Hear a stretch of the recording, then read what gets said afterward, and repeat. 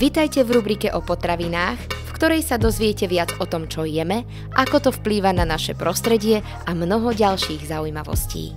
Je dôležité nie len čo jeme, ale aj ako to vyzerá. Neveríte? Ak sa nám totiž jedlo už na tanieri zapáči, spúšťajú sa v našom tele procesy, ktoré sú súčasťou trávenia.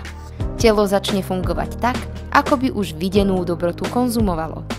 Zvýši sa tvorba slín, tráviacich enzýmov a hormónu v krvi s názvom inzulín.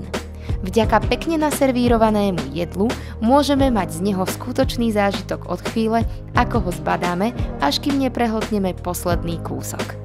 Pri príprave jedla začínajú špičkoví kuchári tým, že si ho nakreslia, ako keď si umelec robí skicu. Zamerajú sa na jednu zaujímavú potravinu a ostatnými tanier dozdobia. Pritom platia viaceré servírovacie pravidlá.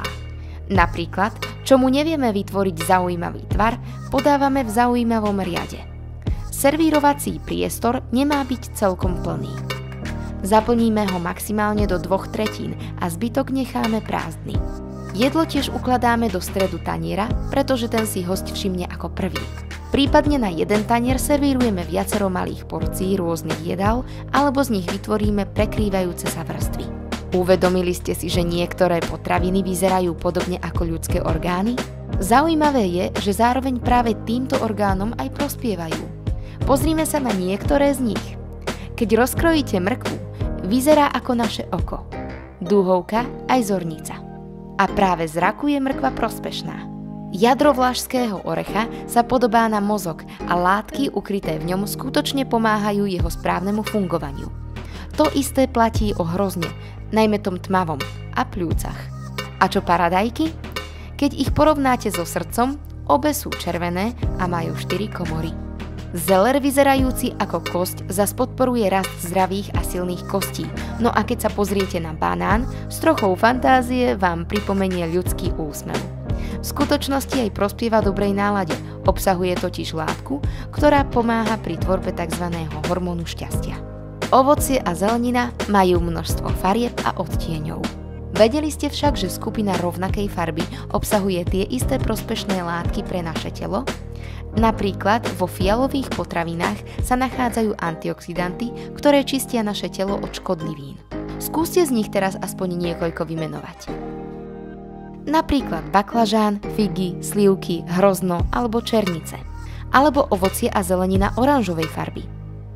Napríklad mrkva, tekvica, melón, marhule, mango či pomaranč. Gratulujeme! Tieto sú bohaté na látku beta-karotén, podporujúca imunitu. Prispieva tiež k zdraviu kostí, pokožky a očí.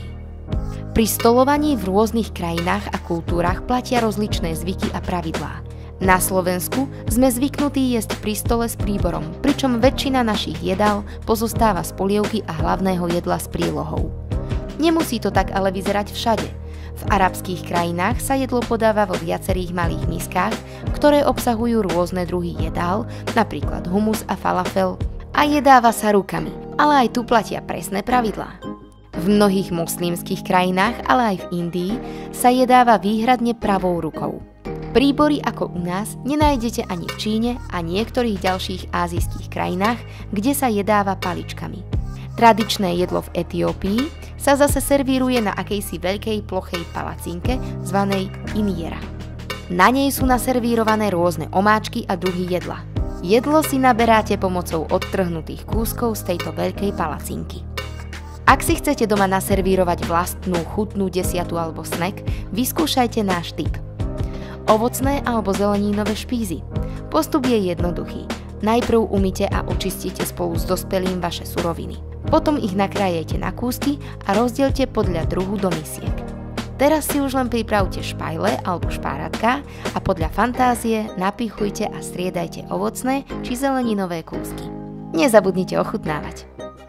Ak chcete mať z raňajok, obeda alebo večere príjemný zážitok a nie len zahnať hlad, skúste si jedlo doma zaujímavo naservírovať a dopriať si aj čas na jeho vychutnanie. Prajme vám skutočný gurmánsky zážitok a dobrú chuť.